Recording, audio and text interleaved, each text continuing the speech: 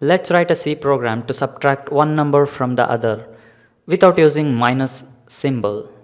We will be using bitwise complement operator here. So I'll ask the user to enter two numbers and store it inside the address of variables a and b.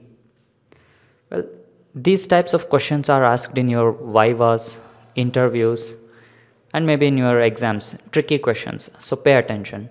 So sub that is result is equal to I'll show you this tilde operator preceding b. It's called ones complement. I'll show you the result. That is sub. The result will be present inside sub. So I have asked the user to enter two numbers. So I'll give 4 and second number as 10. We operate on this number that is second number that is b. So 10 one's complement of 10 is minus 11. Let's check that. Yes, one's complement of 10 is minus 11.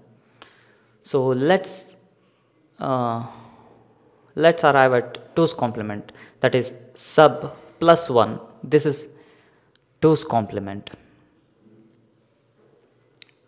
let's check that too I'll compile this and execute so I'll give 5 and 10 again so 2's complement of 10 is minus 10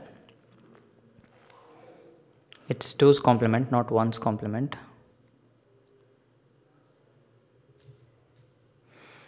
So okay let me show you once again. 5 and 10 so 2's complement of 10 is minus 10 okay? So let's subtract the two numbers. Sub is equal to a plus this one that is 2's complement sub plus 1 so I'll sub, uh, substitute the sub value that is tilde symbol and b. So let me remove these things. So I have not used subtraction that is minus operator here. So subtraction of percentage d and percentage d is percentage d. A comma b comma sub. Let's check that I'll give 5 and 10 it should give 5 so 10 minus 5 is 5 let's try that once again. I'll give 5 minus 10 it should give minus 5 okay? It's working.